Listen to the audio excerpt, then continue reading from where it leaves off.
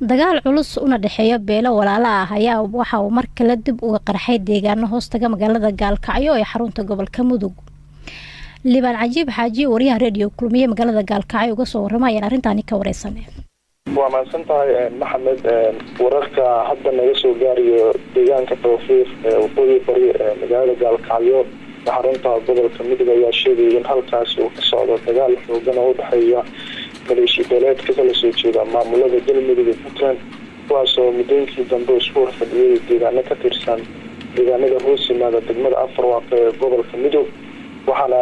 dagaalka la sheegayaa in ay ka dambeysay kadib markii muddooyinkii ugu dambeysay aysan jirin wax dadaalaha oo ay wataan maamulada galmudug iyo puntland iyo odayaasha dhaqanka ee magaalada gaalkacyo kuwaasoo ay ku doonayaan inay ku joojiyaan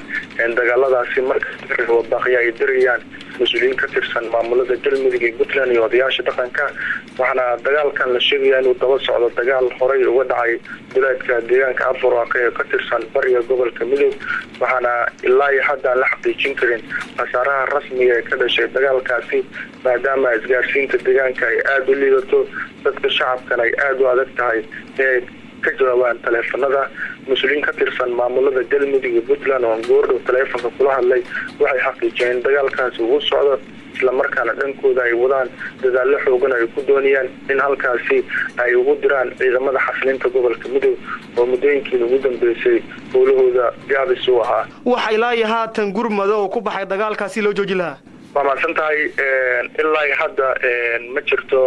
wax ka tirsan mas'uuliyiinta maamulada galmudug iyo puntland oo ku baxay. Marka laga reebo inay ku xun yihiin dagaaladaasi horey waxaa jiray baaqiyo ka imaan iyo qeybaha kala duwan bulshada ee ku nool magaalada gaalkacyo oo ku aadan sababta ay ugu aamusan yihiin madaxda galmudug iyo puntland iyo iyo sababta ciidamada isku dhafka ee magaalada gaalkacyo loogu diri laayahay deegaanada ay colaadu ay ka taagan tahay kuwaasi oo muddooyinkii ugu dambeysay ubaaruursi ka waday deegaanada ay ka kala soo jeedaan mareykanka ayaa lagu eedeeyey inuu kaalin ku leeyahay kobaca weerarada al-shabaab ay ka geystaan gudaha dalka. Cabdulaahi maxamed cali ha inooga waramo qodobkan wargeyska the national interest ee ka soo baxa dalkaasi maraykanka ayaa daabacay maqaal dheer uu kaga waramayo sida siyaasadda arrimaha dibadda maraykanka uu guuldareysatay la dagaalanka kooxda al-shabaab oo ka mid ah kooxaha ugu xoogan ee ka dagaalama qaaradda afrika. Wargeeska ayaa soo qaatay muuqaal uu iska soo duubay bishii nofembar hogaamiyaha dagaalamayaasha al-shabaab oo warar hore ay sheegayeen inuu dhintay balse muuqaalkiisa ka turjumayay awoodda kooxda in ay weli baaqi sii tahay kadib muuqaalkaas al-shabaab ayaa qaaday weeraro dhowr ah oo qaarkood ka dhacay qeybo ka mid ah dhulka somalilan oo aanan inta badan looga barin in al-shabaab ay weeraro ka geystaan. Siyaasiyiinta qaar oo wargeesku wareystay ayaa leh al-shabaab waxa ay si daah furan canshuur kaga qaadaan. Ganacsatada keliyana ma ahan inay canshuuraan. Ganacsatada leh xarumaha sida gaarkaa loo leeyahay ee xitaa waxay canshuur ka qaadaan xubno ka mid ah dowladda soomaaliya. Dhibaatada sii baahaysa keli ah ma ahan musuq maasuq ee waa in aysan jirin siyaasad wax hagta ayuu yidhi donald yomoto ah safiirka maraykanka u fadhiya soomaaliya. Maqaalka wargeeska ayaa aada u dhaliilay istaraatiijiyadda ay safaaradda maraykanka ee soomaaliya ku wajahayso la dagaalanka al-shabaab oo ama dagaalka al-shabaab oo sii baahaya. Khubarada maqaalkan qoray ayaa sidoo kale waxa ay sheegayaan in dowladda federaalka ah uu hogaamiyo madaxweyne maxamed cabdulaahi farmaajo ay xoogga saartay la dagaalanka mucaaradka halkii awooddeeda iskugu geyn lahayd la dagaalanka al-shabaab markii ugu horreysay tan iyo burburkii dowladda soomaaliya dowladda maraykanka ayaa dib uga furtay safaaraddeeda soomaaliya. Waxa ayna ahayd in ay xoogga saarto la dagaalanka al-shabaab balse siyaasadda arrimaha dibadda maraykanka oo aada u liidata ayaa keentay inay sii kordhaan weerarada al-shabaab ayaa lagu yiri maqaalka wargeeska oo aada u dheeraa al-shabaab iyo ciidamo ka tirsan milatariga soomaaliyana waxay ku dagaalameen deegaano ka tirsan gobolka hiiraan ee bartamaha soomaaliya. Farxaan maxamed xuseen ayaa ka waramaya dagaal u dhexeeya ciidamada xoogga dalka iyo al-shabaab ayaa waxauu ka dhacay deegaano u dhexeeya degmooyinka maxaas iyo buuluburde ee gobolka hiiraan. Dagaalka ayaa yimid kadib markii ciidamo ka tirsan kuwa militariga soomaaliya oo horkacaya taliyaha guutada shanaad qaybta toddobiy labaatanaad korneyl faarax cali waasuge oo ka ambabaxay degmada maxaas kuna sii jeeday degmada buuluburde ee gobolka hiiraan ayaa waxaa dhexda u galay xubno ka tirsan al-shabaab halkaas inuu dagaal xooggan uu ka qarxay. Dagaalka oo bilowday gelinkii dambe ee shalay ayaa waxa uu soo gaaray xali fiidkii iyadoona dagaalkaasi uu ka dhashay khasaaro iskugu jiro dhimishiyo dhaawac inkastoo ilaa iyo hadda aan la ogeyn khasaaraha rasmiga ee ka dhashay dagaalkaasi. Dadka deegaanka ayaa waxay sheegayaan inay gacanta ku hayaan ciidamada dowladda deegaanadii lagu dagaalamay oo u dhexeeya degmooyinka maxaas iyo buuluburde ee gobolka hiiraan ka wada tirsan. Ciidamada militariga soomaaliya ayaa waxay wararka sheegayaan in saaki ay dhaqdhaqaaqyo ciidan ka wadaan deegaanada u dhexeeya degmooyinka maxaas iyo buuluburde oo shalay ay kula dagaalameen al-shabaab. Iyadoona dagaalada militariga soomaaliya ay la galeen al-shabaab ay ka gaareen guulo. Weerar dil iyo dhaawac loogu geystay askar ka tirsan ciidamada maamulka puntlandna xala waxa uu ka dhacay magaalada boosaaso ee xarunta gobolka bari ee puntland. Cumar maxamed soomane ayaa ka waramaya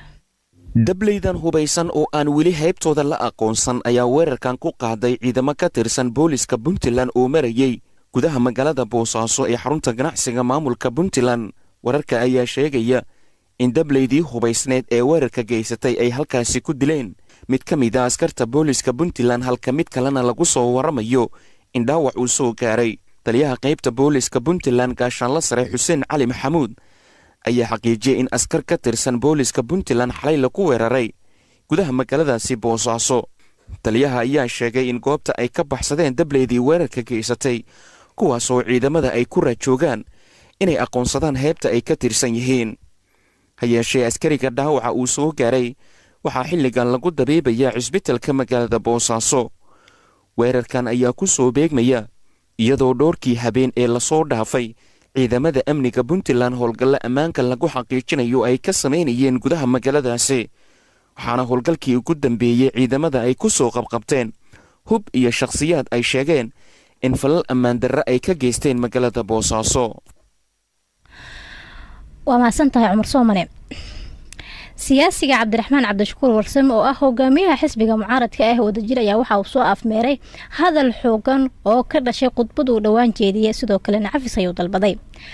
Wariyaheen axmed maxamed ibraahin ayaa ka waramaya siyaasiga cabdiraxmaan cabdishakuur warsame oo muuqaal iska soo duubay ayaa ku sheegay inuu ka toobad keenay qadafkii kaga dhacay khudbad uu ka jeediyey dalka jarmalka. Kaasoo hadalahayn fara badan ay ka dhalatay. Master warsame ayaa shaaca ka qaaday inuu iska cafiyey. Dhammaan culimmadii ka hadashay arrintaasi islamarkaana uu ku sheegay inay u gafiyeen sharafkiisa. Dhanka kale wuxuu ka dalbaday shacabka soomaalida inay iska cafiyaan cid weliba oo wax ka tabanaysa maadaama uu u soo laabtay alla dartii. Sidaan hore u sheegay waxaa magafa ah ilaahay subxaana wa tacaala asaga keliya ayaana ah qofka aanan gafin kullu ibni aadan nebiga wuxuu yidhi calayhi salaatu salaam khata wa khayra khataa'uuna attawaabuun qof kasta oo bini aadana wuu gefaa waxaana ugu khayr badan qofka gefa qofkii ka toobo keena. Abwaan soomaaliyeedna wuxuu yidhi gefka bashar baad u tahay inaad ka garaabto qalad gobbay caadada tahay. Waxaan rabaa inaan caddeeyo sidaan markii hore u caddeeyey anigu marna inuu qasadkayga ahayn xadiiska nebiga caleyhi salaatu wasalaam ee la sheegay ee sayxeenka ku yaalla ee doodda ay ka dhalatay inaanan diidanayn oona ictiraafsanahay xadiiskaas inuu yahay xadiis saxiix ah. Madnigiisa iyo macnihiisa iyo lafdigiisa intaba waxaan kaloo ictiraafsanahay sida nebigeenna suuban caleyhi salaatu wasalaam oo uga bixiyey fasirka iyo fasiraadda iyo tafsiirka uu ka bixiyey waxaan kaloo ictiraafsanaya diinteenna samaawiga ah oo qur'aanka kariimka ee sunnada nebiga caleyhi salatu salaam u horreyso